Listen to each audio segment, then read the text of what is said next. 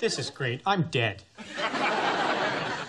You know, when we were in my car and I was running the show, I don't remember one single time we all got arrested. That's true. Eric, will you just relax? We're all in trouble here. Oh, no, no, no. No, no, no. We're not all in trouble here.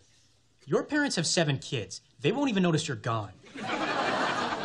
Your parents don't even live in this country.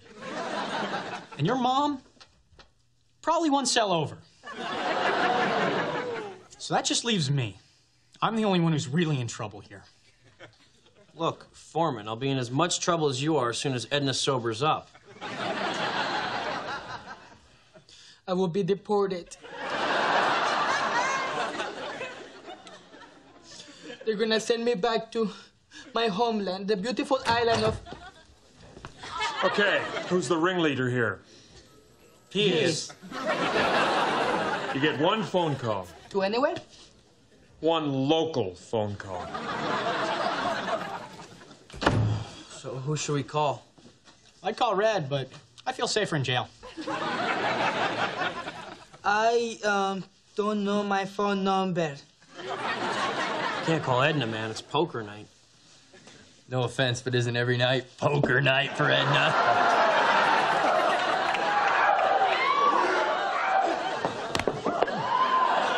No, no, no, I got it. I'll call Jackie. Her dad's a lawyer. Oh, and she's got a checkbook. Hello? Jackie! Oh, thank God you're home. I was driving a stolen car and I got arrested. Oh, Michael, this is just like the book Prisoner of Love, where Cliff, the rugged yet sweet motorcycle mechanic, was thrown into jail. And then his true love, Tasha, was forced to be a slave girl for this really rich, mean guy. Jackie, I'm not kidding around. I'm really in jail. Oh my God, are you okay? Yeah, I guess. But I'm a little cold. It's lonely in the joint, Jackie. Oh my God, you're really in jail. What if you never get out? That would really suck. Yes, it would, Michael. And I promise, the minute you get out of prison, I'm gonna prove my love to you. Cool, thanks. Michael, do you even know what I'm saying to you? Yeah. Uh, No. We're gonna make love, you idiot. All right.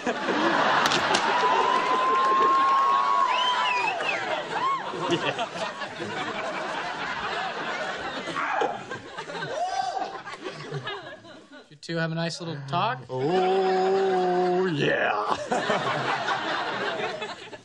You know what's funny? what? Nothing, because you forgot to ask her for help, you moron! God. You're right. Give me another dime.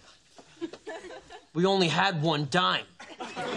We only got one phone call. Oh my God.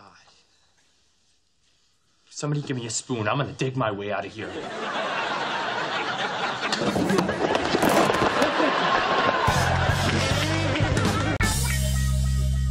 Eric, you gotta do something, man. Me? Hey, what about you, Kelso or Hyde? I can't talk to cops, man. I go insane with rage. Oh, and me too. Nuts. Woo. Eric, you gotta help us. So now I'm back in charge? This is so typical. Okay, you know what? Fine.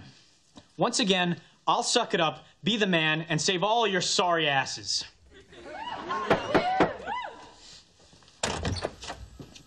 Officer, I need to talk to you, please.